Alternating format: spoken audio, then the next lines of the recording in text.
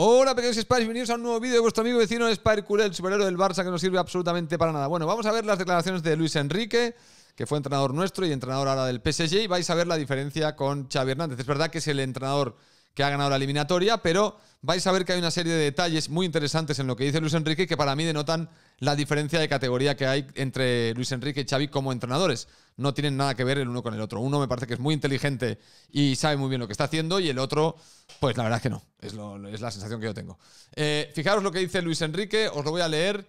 Eh, y luego en el próximo vídeo os las declaraciones de Ter Stegen. Dice, hemos empezado de manera brillante y sabíamos que iba a ser un partido con goles estábamos preparados para cualquier escenario.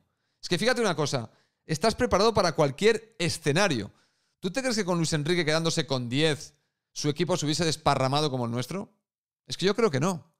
Es que yo creo que no. Es que yo creo que hubiesen tenido una idea muy clara de lo que tenían que hacer. Incluso con uno menos.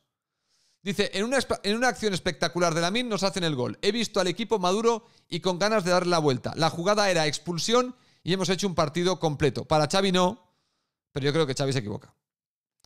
Dice Luis Enrique, no suelo enjuiciar, intento ponerme en la piel del árbitro, intento protestar poco o nada y transmitir a mis jugadores que controlen las emociones. Señores, el líder intenta transmitirle a sus jugadores tranquilidad. Xavi pegándole patadas al mobiliario de la UEFA y expulsándose. ¿Qué mensaje le mandas a los futbolistas cuando tú te desquicias? Cuando tú no eres capaz de tener controlados todos los escenarios.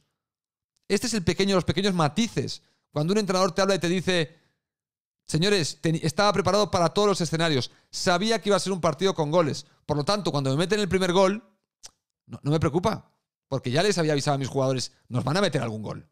Va a ser un partido con goles. Tranquilos, no pasa nada, hay que seguir con el plan trazado. Tenemos un plan.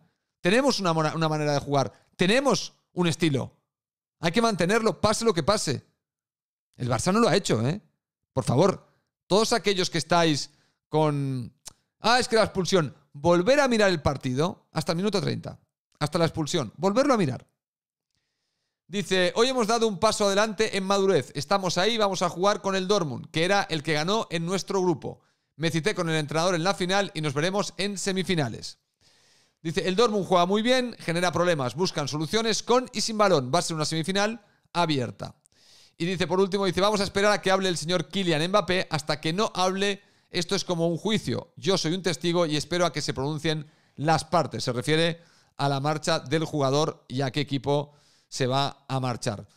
Así que, señores, ¿qué queréis que os diga? El discurso de Luis Enrique es bastante más sensato, bastante más maduro, bastante más sosegado. Está bien. Es el entrenador que ha pasado de la eliminatoria pero si miráis un poco cómo se comportó después de perder el partido, mantenía la tranquilidad, mantuvo la calma, dijo, venimos de, perder, venimos de, no perder en 27 partidos, no hay que rasgarse las vestiduras, iremos al Camp Nou y remontaremos. Eh, le preguntaban en rueda de prensa, oye, ¿no es mejor la vuelta en casa? Oye, me ha tocado esto, pues lo mejor es esto, lo mejor es jugar primero en casa y luego allí. Es otro, otro control de la situación, otra forma de encarar las cosas, de de, verlas, de plantearlas. Xavi no, tíos. Xavi no tiene este, no tiene este temple. bueno, ya se ha visto, ya se ha visto. Uno rompe. Eh, eh, a Luis Enrique no lo tuvieron que expulsar en el Parque de los Príncipes. A Xavi lo han expulsado. Y aún no estábamos realmente eliminados del todo. O sea, aún se podía hacer. Aún nuestro entrenador podía intentar dar algún tipo de consignas desde la banda o algún. Pero no, pero no. Ha decidido borrarse, ha decidido pegar una patada a las cosas, que lo echen y, y para su casa. Ya está, pues ya está. Pues nada, repito, espero que no, no diga que, es claro, que, me expulsan porque soy muy pasional. Ya, pero que seas muy pasional no me sirve de excusa, porque yo puedo ser muy pasional, pero tú no, igual que Luis Enrique tampoco, porque tú eres el líder de ese equipo y tienes que mantener una compostura y una calma para poder dirigir a tus, a tus jugadores, para ser el líder en la banda de tus jugadores. Pero macho, si te expulsan, ¿qué clase de líder es eso? Es que ¿qué clase de líder es ese? No es la primera, además, ¿eh? Entonces, estás enrabietado y muy bien, te, entiendo que estés enrabietado y que no te haya gustado. A mí tampoco. Pero, macho, tú eres el entrenador del Barça. Yo puedo gritar, patalear, yo puedo hacer muchas cosas que tú no puedes. Pero claro, yo no puedo ganar los 5 millones al año o 6 que ganas tú. Esa es la gran diferencia. Y tú deberías comportarte de otra manera. Entonces, señores, ¿qué queréis que os diga? Creo que Luis Enrique le ha dado una lección a, a Xavi de cómo ser un buen entrenador en, en la élite. Y Xavi creo que no está preparado para ser entrenador. Creo que está preparado para ser director técnico, para, para llevar algo que no sea esa exposición que tiene un entrenador y que requiere una serie de mimbres, una serie de cosas que yo creo que Xavi no, no controla.